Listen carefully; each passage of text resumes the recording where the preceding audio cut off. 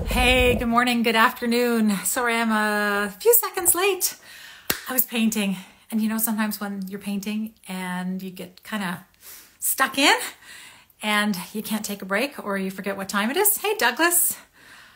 Hey, Darlene. Hey, Jules.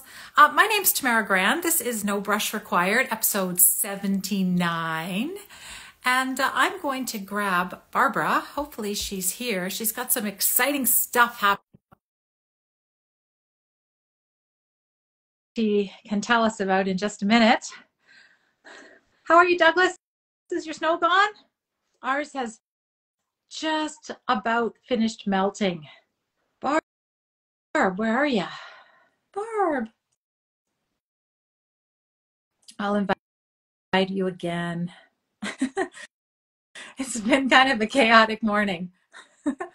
she and I have been texting back and forth about whether she's going to make it or not because of things that are happening at her end. And uh, we wanted to chat.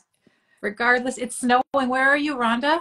Are you Pacific Northwest or are you farther inland? Barbara, send me a, a request. Send me a request if you're here. I've invited you twice. She has a lot of things going on today back there.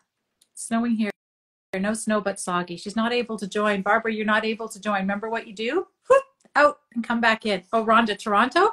I saw some really cool imagery um, on the lake from the lakefront this morning with uh, ice and really cool ice cracks and things. And I, I guess it's probably not safe to skate, not cold enough to skate there. We had some skating on local ponds and things in Vancouver area last week because it got really cold and snowy and it's all warmed up now. Hi Marnie. Hey Val. Hey Melody. Well, I'm not sure if Barb's going to make it. Not on the water. Yeah. it's kind of a big body of water to get cold enough to freeze, isn't it? All right. Um, I'm going to get going. If Barb's not going to pop on, don't want to. I don't want to spoil her surprise. She has a some. I don't want to jinx her either. She's got some exciting stuff going on at home. Anyways, if she manages to catch up with us today, if she can pop in in a few minutes, she will. Otherwise, I'm going to just get to it. Today we have a guest. Um, a guest uh, artist who neither Barbara and I have met in real life, but we feel like we've known her for a long time. She has been a friend of the show. She's here lots and lots of Tuesdays. Um, and I met her through an online workshop with Rob, Rob Szot, and Barbara's unable to join. I don't know what's going on, Barbara. And um, Barb and uh, our guest overlapped, not maybe not overlap, but at least have the same CVP um, Creative Visionary Program background. So I'm going to grab Darlene, Darlene Laguna, and uh, see if she wants to come. Oh, I've got Barb too, and I'm going to do two things at once, and we'll see what happens. We've never done this, accepted two screens at the same time. Hello. Oh my lord. and there's better. I would Here, all right. At the same time, Charlie. I'm Great. so glad that worked. One never knows. So, I know. I know. um, quickly, do you have anything to announce, Barb? No, no Okay. nothing. Well, no, nothing. Nothing official Okay. to announce yet. We just we just put in a. I don't know if you told people what was going No. on. We just put in a second offer for a new place. And um, had to get the paperwork signed, so I knew I would be a couple minutes late. So I'm just trying to lower my heart rate now to a more, you know, sensible Yes. level, and, and all is good. so we keep our So- fingers crossed that this gets accepted. So Absolutely. Yeah. So you two haven't met before. Darlene and I had a lovely chat last week. Uh, Darlene, Barbara, Barbara, Hi. Darlene. nice to Barbara. meet you. Nice to meet you too. Feels like we know you already, though. Yeah. Well, that, that's good because I feel like I know you. And like I said in our chat last week, it just feels so one sided sometimes. So it's um, really nice to connect with people either this way or actually even better in person. Absolutely. For sure. And you're in some sunny, sunny Southern California. Sunny Southern California in the city of Orange, um, which is near Anaheim, um, where Disneyland is. Yes. Oh, The fun. Yes. easiest identifier. Right. Yeah. And you're near some other people we know. You're near Isabel. Right. You're near um, Carrie. You've been into LA to visit Rob Szot's Oh. studio, which we're jealous Yeah. about. Wow. Yeah. On um, also um, Amy Bonham Yeah. and um, Lynn Welker at Sandstone Gallery in Oh. um, Laguna Beach. So they're close. Joyce Joyce Legate. You know, the name is familiar, just like so many of these artists' names are familiar, but I have not met her, I don't think. You're in a real Mhm. hot spot for Yeah. art. Well, You are. you know, it kind of feels like that, but it doesn't feel like that personally. You know, um, I do get to, you know, touch base with certain, you know, some of these people sometimes, but at the same time, there's so many people here and there are so many little cities and it's, you know, hard to actually really connect with people sometimes. Yeah. Right, right. Mhm. Well, um, tell us and tell our viewers uh, what you make.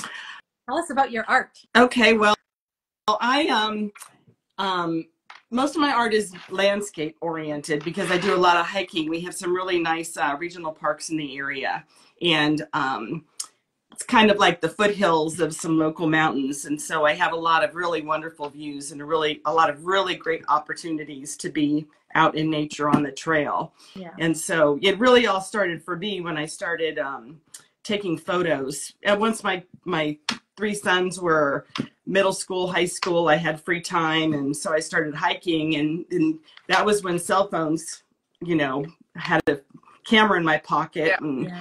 started taking photos. And um, so yeah, so that led into my art. So, would you Yeah. bring your photos home and use those as a jumping off point for Uh, paintings, well, or is it all kind of in your head? And Yeah, yeah. first of all, I just started playing with photography. Mhm. Um, but then that, I got really tired of that quickly because I, I, it's all on the computer now. Mhm. Yeah. You know, so I don't want to spend, you know, spend my life uh, looking at the screen. Yeah.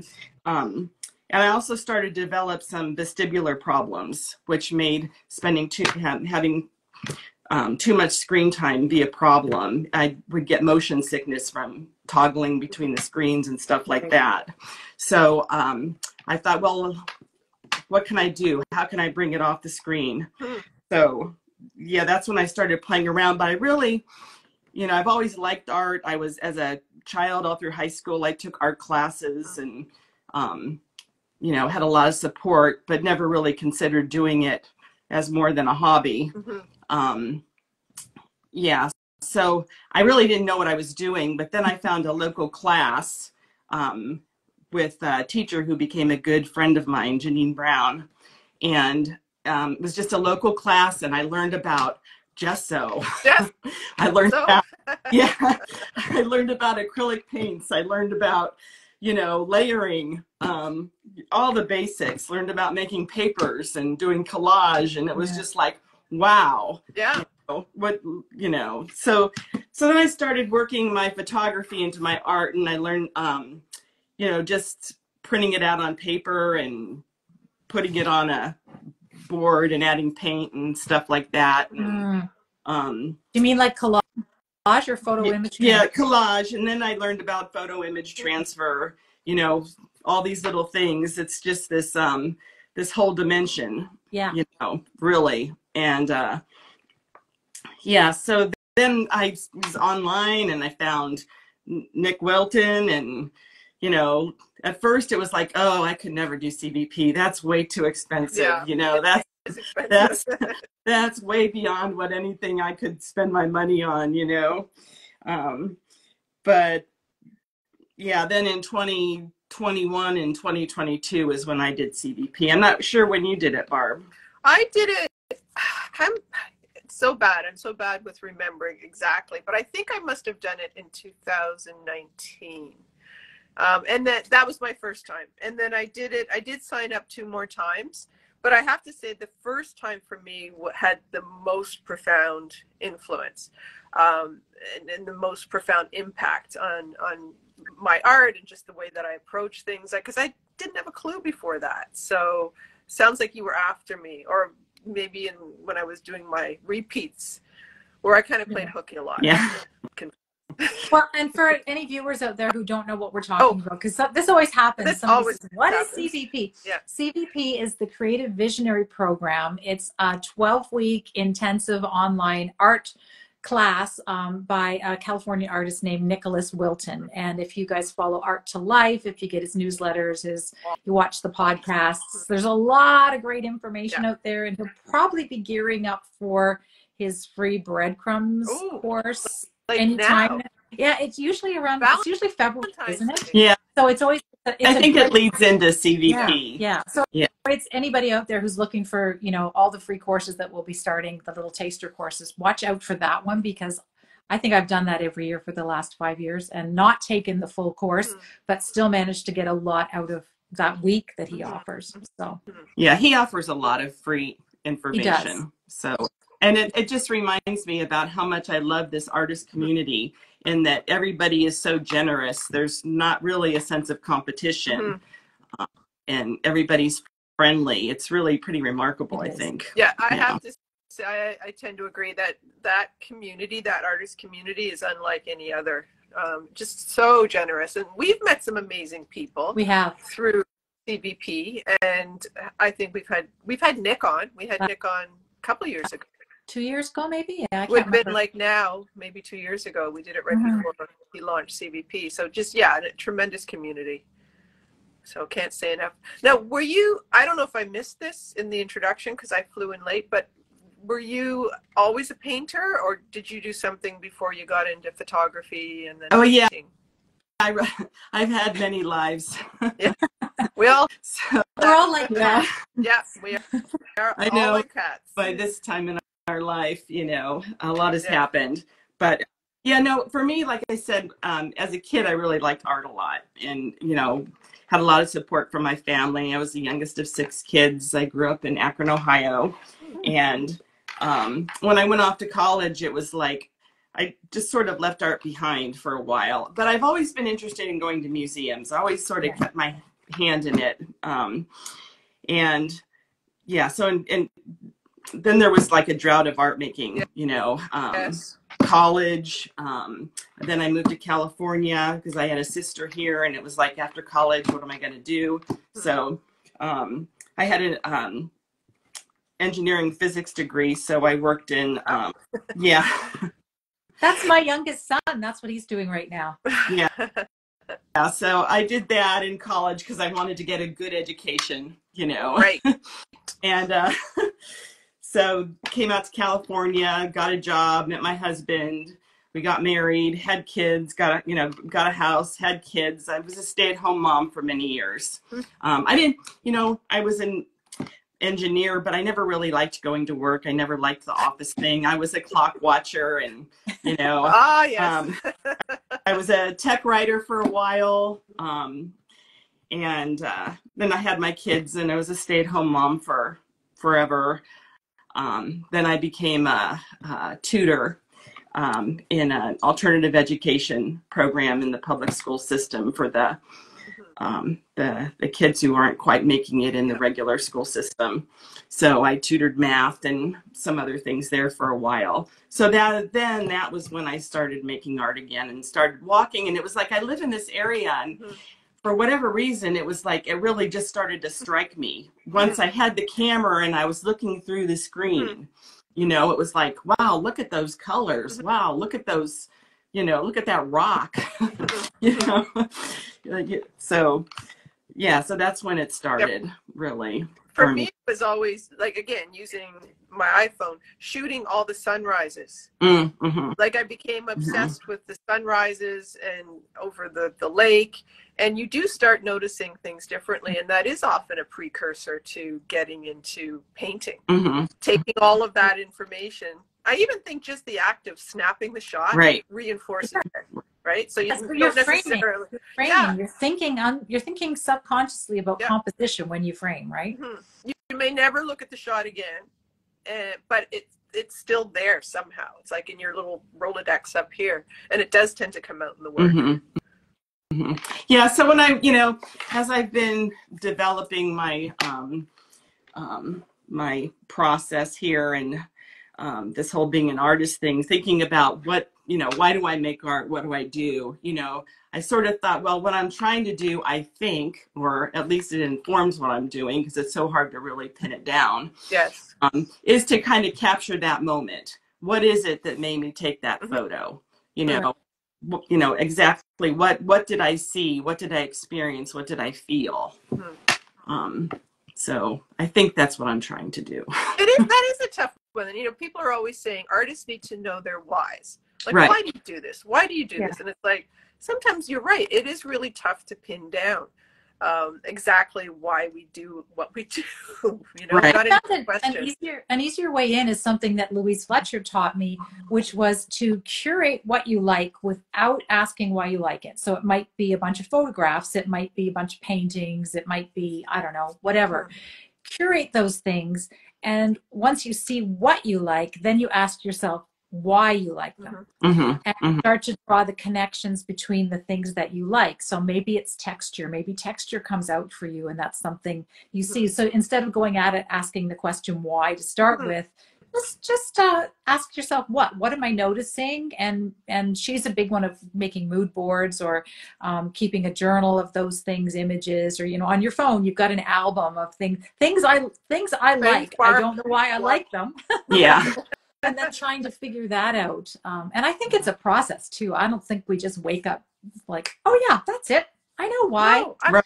I'm always impressed when artists can say exactly why they paint. Mhm. Mhm. And I often think too, it's going to change. Your Mhm. reasons, your Mhm. why is going to change as as your practice changes, right? Yeah, very much so. Bringing up Louise Fletcher, that reminds me too that early on when I started making art, I had a sense of it being as like a selfish thing to do, Yeah. you know. So, and it's like, oh, how can I spend money on this when there's all these problems in the world, and you know, and I, you know, should keep tutoring, and Mhm. you know, um, how should I spend my time? And then I, I googled, I googled, is making art selfish? And what popped up was an Art Juice podcast, Oh, and, which had had the title "Is Making Art Selfish?" And that was the first time I found them in that podcast. Mm. And I listened to it, and I was like, okay. you know that makes sense Yeah. you know they had some you know good answers as Mhm. to one of the things that I remember that they mentioned was that if you do it, then you give other people permission to do it. Yes. Yeah, and I think that's that's a really um, valid um, reason. I, I think too. Yeah, we have to remind ourselves, and I come back to this all the time. And I'm not not um, ever speaking down to people who golf and ski, but I don't golf and ski, Mhm. and so there are other expensive hobbies that people hobbies that people have, and they don't ask themselves, "Is it guilty for me to buy an Yeah. annual ski pass to Whistler Right. and go skiing?" They don't say, "Is it you know do I should I feel guilty?" In enjoying my afternoon on the golf course and so it's interesting that it so often comes up for artists that we feel we need to justify the money and the time we spend on our art. Um, I, I'm just curious about that. Mhm. Yeah, yeah, yeah. So, I mean, Um, the other the other answer is I used to. This is all in jest, but I was a um, a very hardcore knitter for many many years. I don't knit as much now that I paint because you can only do you need your hands for can't do them both simultaneously. And there was a meme that was going around in the knitting community, and it was I paint so I don't kill people. Oh, the idea being Oh. that it, it helps with you know Right. Oh, yeah, mental health yeah. and mental wellness and so you know it's kind of the same for painting right if i'm having a stressful day i go into the studio and all of a sudden three hours later my shoulders have dropped six inches i'm breathing more fully and i'm feeling better so Yeah. that's an excellent reason to paint too or to create it's uh, yeah, I I sometimes will flip it, and because I I think like you, Darlene, I had many years of not painting, like decades, right? And then sometimes I'll ask myself, well, what would life be like if I never painted again? And it's almost unfathomable hmm Uh, hmm the thought and what like just how detrimental that would be even to your own kind of mental health and you know your purpose on this planet and and using what you have to make the best of your life. Not having that would be unthinkable. Right. So sometimes flipping it on its head. We've had some comments go by quickly. Did Yes. anybody catch those? Yeah, one of one of them was we're also putting beautiful things out into the world. So when we create, we're making things that weren't there before, and those we're sharing those. We're not hiding those in our studio. We're sharing them with the world by being on Instagram. And then Rena also said too, we all we do send ourselves on a lot of guilt trips, and and we need to stop doing that. So Okay, good point, one. Rena. Do you think male artists ask themselves this, or is this a female artist thing?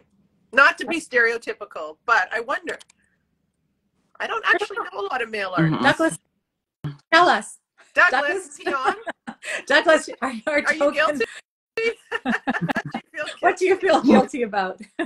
Because I think I, I wonder if it is a female thing. You know, Mhm. um, what did Bonnie say? I don't my glasses. Douglas feels Douglas says he feels guilty. Bonnie says no. Do you know what? Part of the problem though is when you ask these questions and when you go online and you see who's participating, it's not an unbiased sample because No.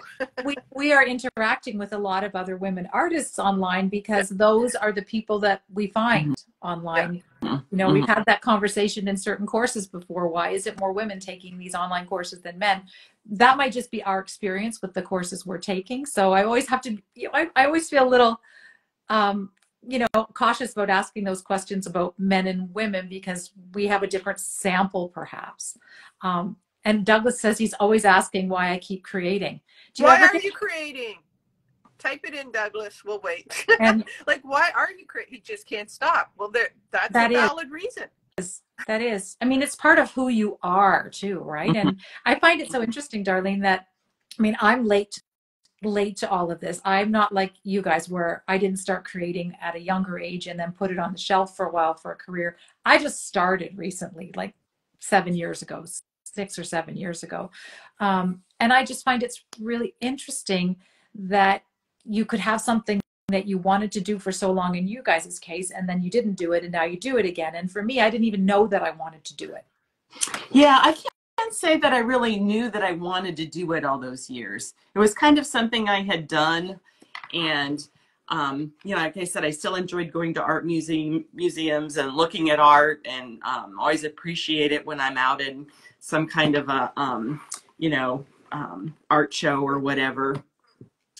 Um, but then, yeah, the, the the desire to start making things did come back with you know once i had time and wasn't once i wasn't so involved in the creating that goes along with parenting hmm Yeah. Now, are you are Mhm. you talking to us from your studio space? yes i am i'm in um, a bedroom that used to be my son's bedroom Okay. um, like I'm many very of are in studio so space. i can show you this is i just kind of laid out some of my art I don't love if- your paintings. I was in your website. I love your work. You have such Um, a rich, rich color. you know- set. you know the colors Oh, these are really it's rich. interesting because i never thought of myself as liking red um Tilt down. We're just seeing the. Oh, there we go. okay. So, There we go. Yeah. have you got? uh Okay, so Okay. is that a wall that you've put plastic on? That's right. Yeah, yeah, because I made a mess. So Good um, idea. it's kind of weird the angle. So Oh, and just Oh, your hexagons. Yeah, my hexagon. Yeah. So yeah, that's my um. This is kind of a weird thing. That's my most recent one, and I think it's done Yeah, Um, I'd say. mhm. because I look at it and I can't. I just think I would mess it up. I'm at that point where. nothing more to do. So- Nothing more to do. The Yeah. colors are gorgeous. Thank you, thank you. So, so yeah, this is my space, um, my desk, and I. I'm a sticky person. I Yeah, me too. I love lots post-it notes. Austin Kleon. There's a lot of them. Um, Brian Rutenberg. Um, just whatever, you know. Have you discovered Rick Rubin's, the creative act? Yeah, yeah, Because yeah, I could like write his quotes down all day. yeah. I've got a bunch of his up here too. After I read that book, um, and I recently there was a great article this morning about um, you know who Brian Eno Yes. is. Okay, there's going to be a documentary about him in the coming year. I think it's just the article was about um, um, um, it being at premiering at Sundance, I think. And anyways, it's really interesting because there's AI technology behind it, and it's like every time somebody watches it, it's slightly different Mhm. because it takes the same information and just kind of Mm. sifts it around. And he he think he, I mean he's all in with that idea. He thinks that's cool. But um, one one thing that he said about um, he's a really he, he's really into nature. Okay, which you wouldn't necessarily think. I don't know about Brian Eno. He seems very techy and tech savvy and all that. But um, let's see, what did he? He said having a good time consists of the right mixture of expectations and surprise. Okay. Mhm. And he says, I want art to be like sitting by a river. Mhm. And I just thought that was just so Yeah. and interesting in that art is something that is common. Mhm. You see art and you experience it in the same way that we see nature, experience nature, the same way we meet people and, you know, experience our relationships with people. Interesting, because I I was also getting from that quote. It was making me think about the AI aspect of it, where the river flows by and it it's it's a river. It's always recognizable as a river, but that idea that you mentioned about it changes and you experience it a little bit differently each time. Yeah, yeah, It's yeah. Right, right, right.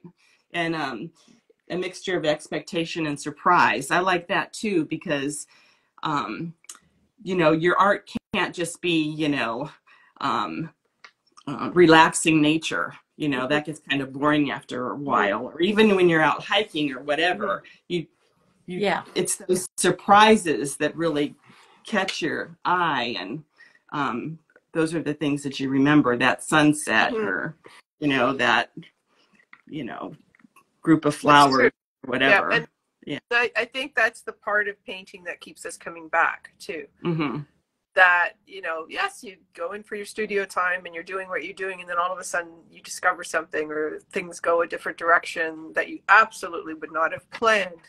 But that's almost the hook that keeps coming back. hmm right right because you don't know what's what's going to be new don't. And you want Yeah. to be open to that. You want to be open to those Yeah. shifts. hmm Absolutely. Bonnie says surprises equal differences. Mhm. Absolutely. Yeah. Right. right right right Um, good point when Barb and I were in New York, we were we went to the MoMA and we saw the most incredible um, AI painting.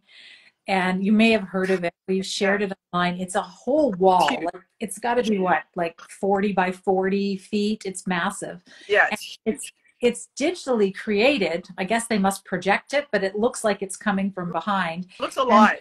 It looks alive, Yeah, and they yeah. the starting point, the input input to create for the algorithm to create this moving art that changes. It's like water flowing over the edges. It's like fire. It's like volcano erupting. Is all of the work or a big portion of the work that they have um, in their collection at the moment. So they oh put that input and then they have a starting point and there's some algorithm behind it that just changes the pixels just move and it was totally mesmerizing you had no idea what you were going to see next um, it was amazing oh And, and like you could have sat there all day. You could have easily sat there all day. And it, yes, a lot of it was bright colors and almost like lava coming up. But then you'd see like a snippet of drawing. Remember when it would kind of go black and white? Yeah. And it'd be like, there's drawings in there. And then they kind of change. And it's like, it, oh, beautiful. That's a, that's a great Mhm. use of AI.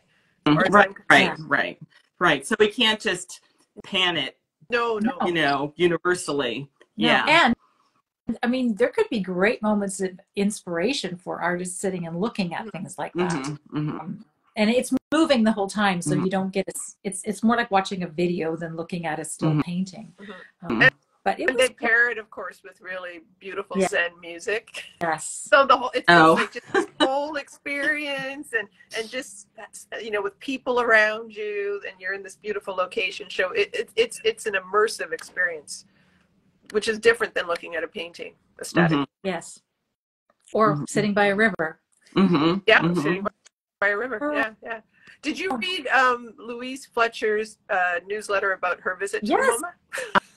and Mm, Thoughts? Get it yet? um okay this was a while ago you know what i i did un- i so her uh it was just a couple weeks ago and she talked about how she she had a very angry reaction to it because Ah, yeah, for yeah. her seeing art an artist's work seeing it all one piece next to a different artist next to a different artist wasn't the same as seeing a collection of the work um, and you know I, I did understand that like Hmm. to, I, I we we didn't try to see everything when we went Mhm. because we know how overwhelmed we get and there were a couple of rooms there like the rothko room that we just made a beeline to first thing in the morning the second time we were there to kind of stand there and see all of the work together and see it kind of communicating but um, I, I did appreciate her I, I think Mhm. that these kinds of big museums are great for as an entry point you know Mhm.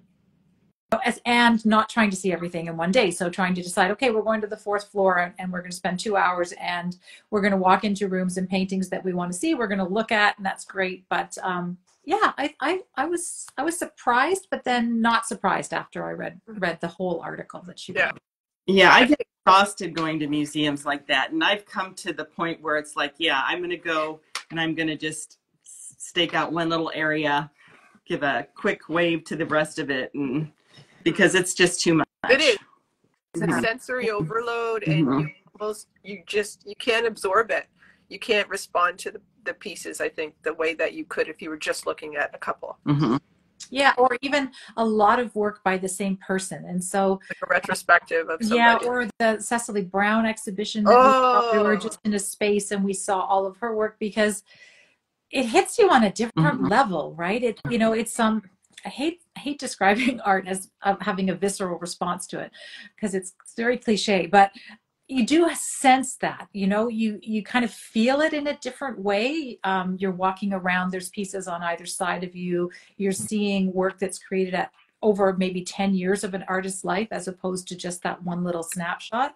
And i found that much a much more compelling way to look at art than to wander through and see one of everybody for Mhm. sure And talk about expectation versus surprise. We did not expect to walk to stumble into this gallery, and when we did, it was almost more potent than had we said, "Okay, we're going to go see that show." Mhm. It was like it was like Dorothy when she opens the door, and all of a sudden everything's Technicolor Yeah. in uh, the Land of Oz. Yeah. That's how it felt. Mhm. yeah i missed that Yeah. comment well, um, this Rena, happens. I read, Rena sa- says, I read that newsletter. I get it. And I do prefer immersing myself in one artist at a time. But the theme approach that MoMA adopted for its permanent exhibitions does have value. And it is enriching in a different way. Absol- absolutely. Um, I, I, I, I get that too. And I think it serves a different purpose. And for those of us who don't have access to that sort of an ex, that sort of Mhm. um, a museum or a gallery on a regular basis, that's the only way we can see it right? Mm-hmm. Like I, we don't have a, we don't, the Vancouver Art Gallery, No. they try, but we're small, you know, we don't have those kinds of collections. And, and I can't get a, if I got a membership there, I, I wouldn't probably use it. No. If I had a, if I lived in New York and had a membership to the MoMA, I could oh. see Oh, myself, I could see myself going once a week and just Yeah. spending an hour. Yeah. Right. Yeah. Oh. It's like the people out here who have Disneyland passes. Right.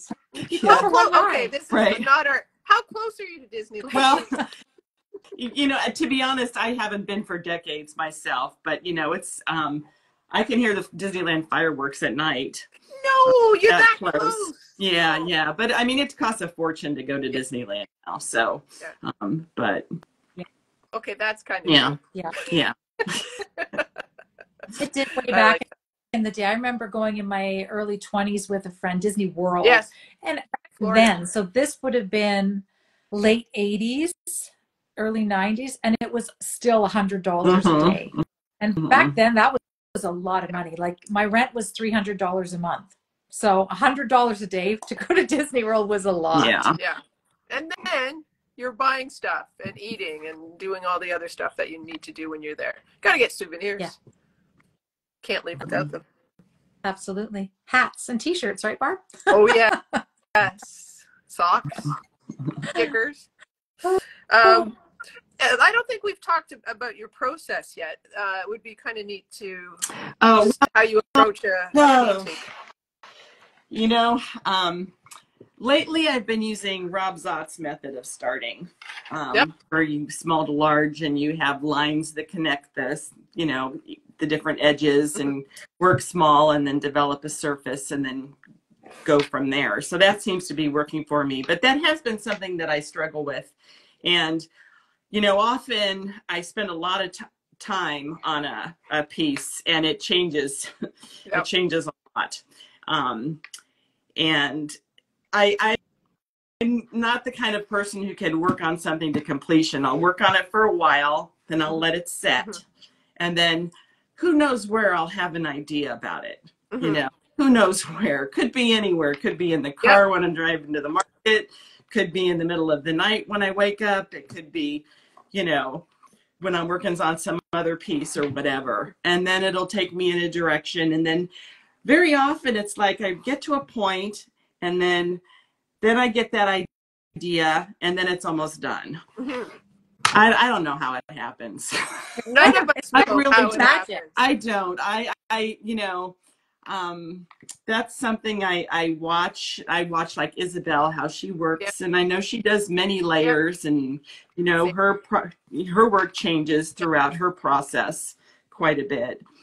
Um, one thing that I struggle with a lot is color, um, and House.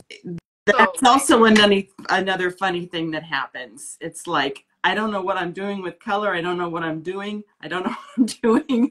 Do I even understand paint? And then um, then all of a sudden it's like level, yeah, you know yeah. I put something. It, it yeah yeah. I like to use collage. Yeah. Yeah, and a lot of times um, I like what I do. Um, you know, like I use I you know uh, Tam Tamara Tamara Tamara. Tamara. I'm sorry. I knew that was going to happen.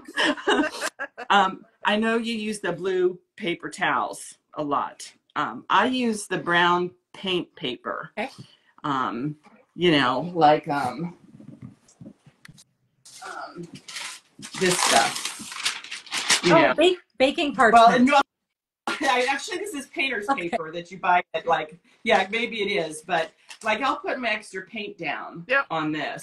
right. And a lot of times I end up using what I put down um, as collage. And yeah, that's what I'll do with a piece if I don't know what I'm doing um, on it. I'll take some collage and put some work down. I also also like to use text from old books Oh Yeah. yeah.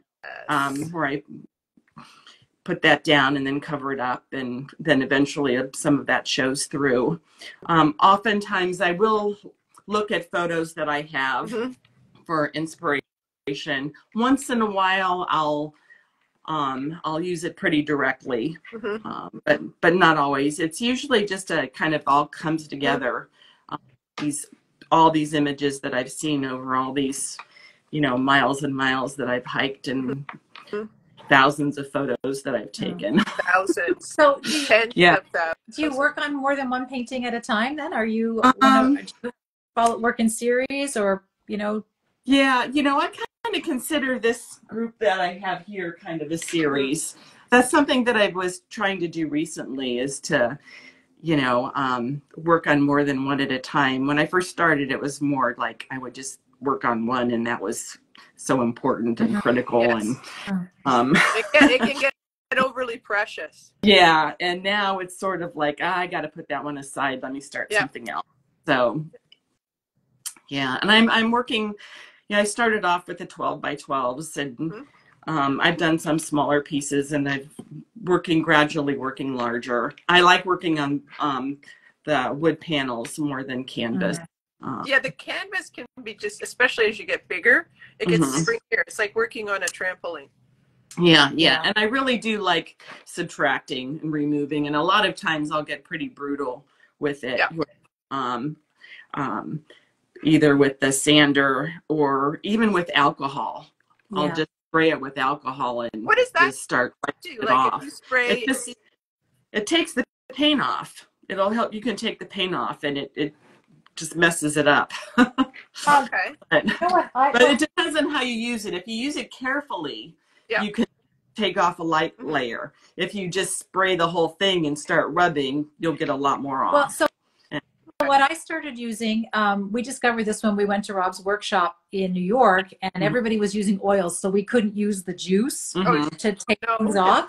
And so we started using this um, open acrylic medium gloss. Mhm. And I use it the same way he uses juice now. I put it on my paper towels and I scrub back and Mhm. into it. Mhm. But and, and, and it's been great. You go through a lot of it though. Yeah. Um, and it doesn't come in this is the biggest size bottles I can get is which is fine because you need to be able to hold it in your hands. Um, but you know, I was going to ask you too, because of the subtraction, it limits how many pieces you can work on at a time. So before I before I was doing a lot of subtracting with medium and really trying to time the Uh, drying to get it, ex- you know, oh. with, with subtraction and acrylics, it's not like oils where you can go in the next day and still be able to pull things off. There's kind of a time. There's a there's a critical time um, for what the way I use it, anyways Mhm. Mhm. and so um, if i was if i work on too many panels at the same time by the time i go back and start subtracting from panel one panel four is really dry and i can't get the same effects anymore so it's limiting it's limited me to not being able to work in series quite the Mhm. same way and i was wondering if that's maybe part part of it for you as well Yeah. I don't work that that um, meticulously. Um, Mhm. um, I'm. It's more of a, just a big mess. but but uh, yeah, and you know, I I do get. I find that I get bored if I do the same thing over and over again. So I um, I do like to change it up, um, and I do take. You know, sometimes I I don't work every day. Mhm. Um, very often it's just you know a short period of time and then i'll do, go do something else and then i'll work for a short period of time um, What about okay? So you did CVP, so you Mhm. might be in the same boat that I am, where now it's my preference is square substrates. like that got me hooked on squares. mhm. Feel it- yeah i like squares and i don't know if it's so much because of cvp but it's as i've worked with them even with the larger ones for there's something about the square shape that i really Mhm. like but i do have some pieces that are um are rectangles i just got some bigger ones um, so I, yeah i'm looking forward to to working on those too but yeah there's something about the square that i really like i don't know what it is though it's yeah, Just- it's it's surprised me yeah, me too. Because you almost Mm-hmm. become like that. That would be what I would gravitate towards until I started not the totem ones, which Yeah, is like total yeah. Yes. yeah Um, do you have a favorite size? Like a, what sort of? Well, I'm starting, like I said, I'm starting to like bigger sizes. So, like right now, I'm um, working more like 24 by 24, which for me is larger, but I know it's really not large. Um, but I don't have that much space Yeah. to work in. Well, you, you see, it's pretty decent sized space. It's hard to tell, but um, Yeah, Like- that's actually pretty good. Um, Yeah. I just have so much stuff, so many different materials, and I find that if I if it's not in viewing, then I'm not going to use it. out of sight, out of mind. You Right. know, if it's not if it's not visible, it doesn't exist. Mhm, mhm. And then like a year later, like, oh, I didn't know I had all this stuff well buried underneath here. I'd also like to spend some more time working on paper. I like what you're doing, Tamara, with your um, paper pieces. Um, yeah, I, I like Well, it's fun Mhm. It's really fun. Um, and they're small, right? I'm only working in five by five inches on these guys. Isn't that great? It's That size? you know what? It's it's a Mhm. warm up. Some days it's a warm up to doing anything bigger. Uh, some days it's I've got 45 minutes in the studio and that's it. And I've made something and great. And it's not precious at all. You know, they look much, bigger. Yeah. I mean, even though I'm looking at them like this, you know, on a tiny little screen, they I could easily see that they could be a 12 by 12 or a Yeah. you know 16 by 16. So Well, and who- Mhm. knows? Maybe that will, there'll be some inspiration for scaling up. But I'm really just treating them all as one and done. It's Mhm. done. Move on to the next Mhm. And um, I do have an idea of how I'd like to display them when they're all done. I think it could be quite interesting to see a big 10 Oh, by yeah. 10 array of yeah, them in different, different arrangements and stuff. But Mhm. um, I, I'm a big fan of having two different sizes and two different sort of substrates because you've always got something to Mhm. do then. Mhm. To the Mhm. studio, you can find something to focus on. hmm Yeah, I really like the totems too. I think those are really in- an interesting shape. I Yeah. love the Mhm. totems, and I want to do more of the. I mean, I have a bunch that I haven't even started, sitting there waiting. Um, but yeah, there's just something about the shape. They're not. They're some of them are huge, like six feet tall, twelve inches wide, which is a lot. But they Wow. don't feel intimidating because you know you're working on such a a different scale. A lar- I would love to do a really large piece. Just can't do that at the Oh, Val- You know, we're Totems are the skinny, really Oh. tall ones. So they might be like 48 by 8. Here's one behind me, And which has been there for weeks. I think, Barb, you tend to work on them in the vertical format, but then they can be hung in that long, horizontal format, like over a bed or something, Yeah. right? yeah, absolutely. But there's and there's another artist, Miriam. Um, she does them, but she puts them on a stand, so they're almost like a sculpture. Oh, Oh, So I saw one that she had actually just sold um, out of her gallery in Toronto, and I thought, what an amazing idea! So the totem is on a stand, so it is like a sculpture, but it's a painting. and I think the possibilities with something like that are really What about- exciting. yeah. So I need. To, about the back of it. Does she paint the back as well? I don't know. I'm gonna pick her brain. Mhm. You know what you could do? You could take two totems, the same size of the wooden ones, and you could Stick glue them them together. together. You could Mhm. make a Yeah. cube. That would be so cool. Ooh, You like it- actually, Be like an obelisk, right? And then you could like then you could like rotate it. Put it on a little rope. yes. And Yeah. then depending how you feel, it's it's art that can kind of suit your mood. Yes. Mhm. This Mhm. is why I need a bigger studio. Yes. Mhm. I can't do that here. You hear that, Roman? We're like traumatized today. but uh, long story. Share So, um, you have work in a local gallery, right? You're going to tell us about that. Um, well, you and I talked about Twig it, and Vine, or what's it called? It's called the Linden Twig, and That's it's in the city of Tustin, which is right next to Orange, Old Town Tustin, which is just a, a lovely little intersection, a few blocks going each way with shops and restaurants. And uh, yeah, it's a nice little like boutique art gallery, and you know she sells home goods, and she also, um, I just met her. Uh, I think they opened last year, and um, yeah, so she's selling a variety of things there and she's very welcoming to artists. And you know there's a, several other artists that have work there. And um, yeah so in february i'll be one of the featured artists there. And um, there's had there's an opening on february 3rd and my son is a musician and he's going to be playing guitar and singing one of my sons Ah, at the event 12 to 3 in the afternoon. Okay. Carrie, Carrie's gonna go she's see gonna you. go. have Carrie, Carrie? go. Have you I met have- Carrie Clausen? I'm not I have not but um i'd love to meet her yeah yeah come say hi it's a lovely little place. I don't know if she's been to Tustin before, but it's yeah, it's a great gallery, and um, um, the owner Amy is very nice. And I walked in there and um, the first time, and she said, you know, I introduced introduced myself as an artist. She says, "Oh, do you want to show here?" She hadn't even looked up my work, and I'm like, "Don't you want to see what I make?"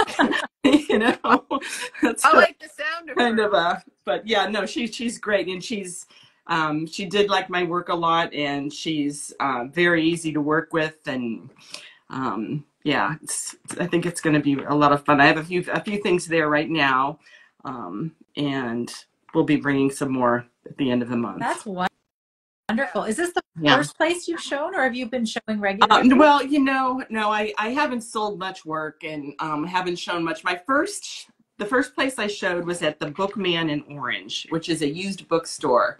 And um, the owner, David Hess, um, likes to support local artists and he'll let you hang up your work there and have a little opening event. And he doesn't charge any commission if you sell anything Great. which is I didn't sell anything when I was there, but um, but it was kind of like the first time that I introduced myself as an artist to my family and friends, and they all, you know, a lot of people came and supported me, and um, yeah, it was a real turning point in just my being able to um, think of myself as an artist.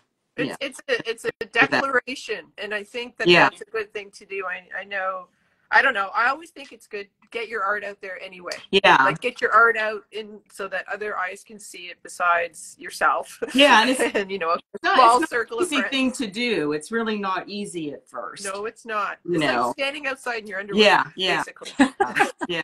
But like I said, I all I got was support Yeah. from family and friends, and um, you know, it just um, has just made me feel a little bit better about doing this. Not, I mean, Mm-hmm. not that I should feel bad, right? But uh, just a little, um, little shy. Um, Yeah, it's it's yeah, when you have something that's because it's personal right. It's And- personal. and people outside of your home and outside of your really close circle don't see that you're doing it and the only way they know is if you tell them but it feels very vulnerable to to Mhm, show mhm. people what you're working on right Right. Yes. Very, very much so. But it's uh, it's out there now. So, Can't and now Take it back, and it, it makes it easier to do it another time, right? and now I'm on no brush required. No, well you've No. made it now Oh, this is the peak, Darlene. I tell I you, know. this No, I, can't get much higher than this. really this this year's starting off very well i just want to thank you both too very much um, and i admire what you're doing you're both um, hardworking artists i like your own individual styles and um, um, it's, it's just i'm really glad that i found your your activity Whatever this is. whatever this i hate can't We we call don't it it's know not, it's not a pod podcast right but it's not. almost Almost. i call i i hashtag it podcasts of instagram because i don't know what yeah. else to call it either yeah It's a visual podcast. It is. We could create something different. Well, I'll tell you, there's nothing better than the artist community that we've met.